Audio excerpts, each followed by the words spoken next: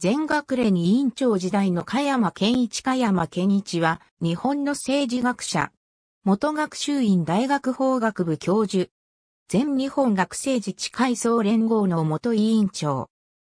1933年に東京で生まれる。1941年、父の転勤のため満州国新京特別市に転居した。1946年母、弟4人妹1人と共に引き上げ、父はその後6年間の抑留生活を送ったため、帰国後母の実家に身を寄せる。1953年、東京大学文科愛類入学。東大駒場寮に入寮、社会科学研究会に入る。学生運動に参加し、1956年、全日本学生自治会総連合の委員長に就任。1958年12月に退任した。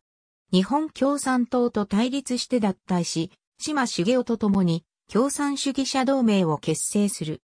共産主義者同盟が主導となった全学連は、1960年の安保闘争で実力行使を伴う阻止運動を遂行した。この間、1960年に東京大学経済学部経済学科を卒業し、大学院に進む。日米安保条約改定後の1960年8月に発足した現代思想研究会に加入。清水育太郎と共に会で主導的な立場をとっていた。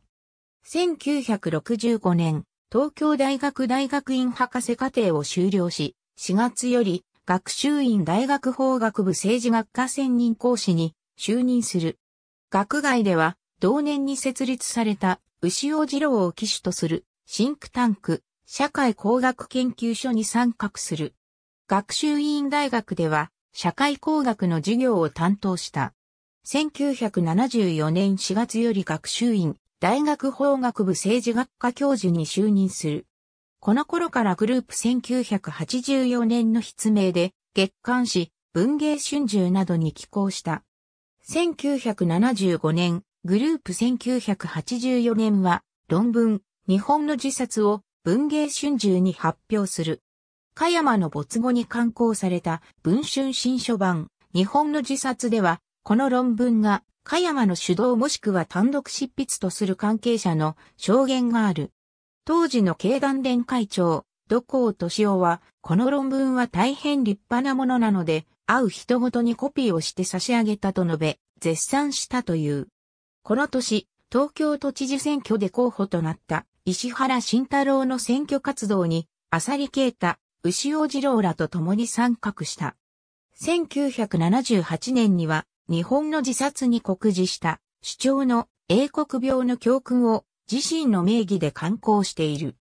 1979年、前年の大平正義内閣の成立に伴い、相次いで発足した内閣の政策研究会に参画し、久門俊平、佐藤清三郎らと研究会の中核的役割を果たす。この年に作成された自由民主党の指針文書、自由民主党研修総書も編著者は、自民党研修総書編集委員会名義となっているが、実際には、公文、佐藤と高坂正隆、加山らが共同で執筆したという。1984年、中曽根康弘内閣で日中友好21世紀委員会、臨時教育審議会委員に就任した。中曽根政権下でも自由民主党の機関紙である自由民主に本誌編集部の提言という形で佐藤清三郎役門俊平らと共に文章を寄稿していたという。1990年、天皇陛下ご即位法祝中央式典で学会代表で祝辞を読む。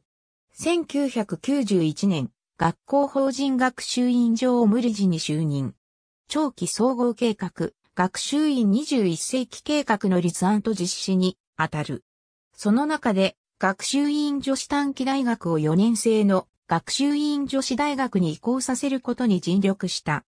1992年5月に元熊本県知事であった細川森弘が雑誌文芸春秋に自由社会連合決闘宣言を発表したが、その決闘宣言は加山が代筆したマイナスされる。1996年、脳内出血のため、自宅で倒れ、東京女子科大学病院に入院し、1997年3月21日に逝去。去年64。テニスを趣味とし、皇族とも親交があった。ありがとうございます。